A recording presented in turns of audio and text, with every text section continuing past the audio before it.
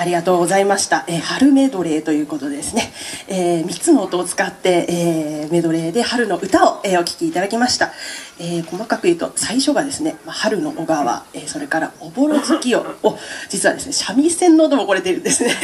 え三味線の音で、えーおぼろ月夜。それから最後マリンバで、えー花というですね、えー名曲をお聴きいただきました。